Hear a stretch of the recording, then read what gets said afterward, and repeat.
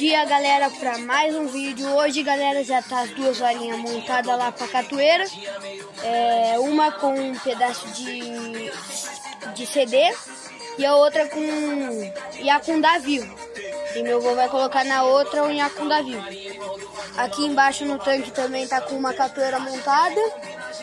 E agora eu vou descer lá embaixo para tentar pegar as bitelas bocuda, beleza? Galera, ó, de noite já, ó.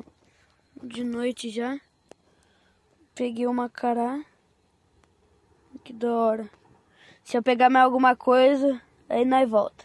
Galera, tô continuando o vídeo de ontem. Hoje, plena quarta-feira de manhã.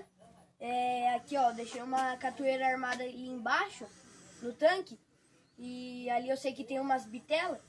Aí eu peguei, galera, ó, o tamanho.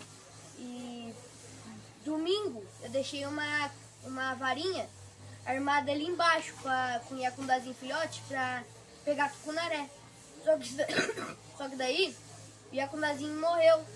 Eu falei, eu vou deixar pra atrair. Só que daí eu não coloquei o empaquetinho de aço. Você vai falando que eu vou mostrar, não? Ah, é, aí eu não coloquei o empaquetinho de aço. Aí é, eu peguei uma traíra de uns 2 quilos. E quando chegou na beirinha, ela cortou a linha. Então foi falha minha mesmo.